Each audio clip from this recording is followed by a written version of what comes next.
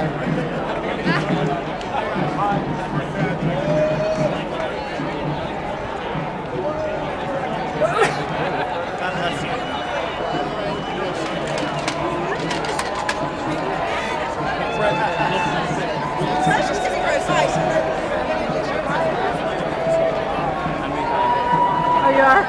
yeah, I should probably go back. They're always just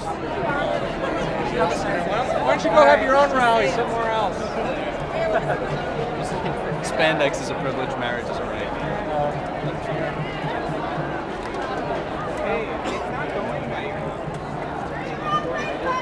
And we here we have the